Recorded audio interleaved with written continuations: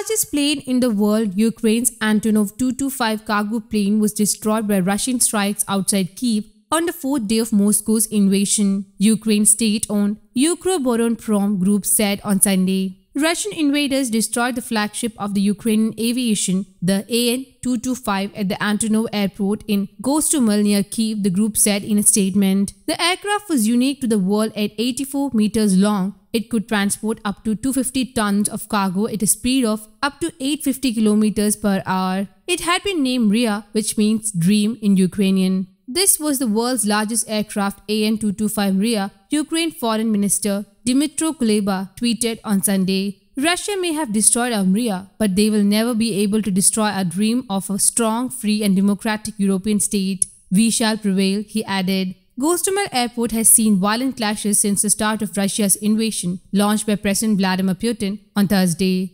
The Russian army has said it is trying to seize strategic infrastructure.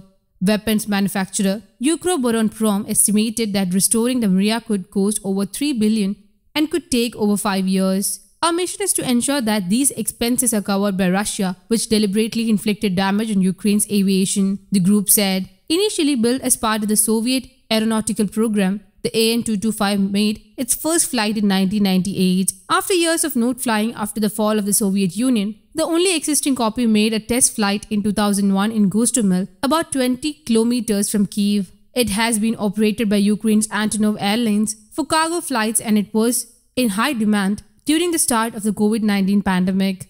News Desk Kaumudy Global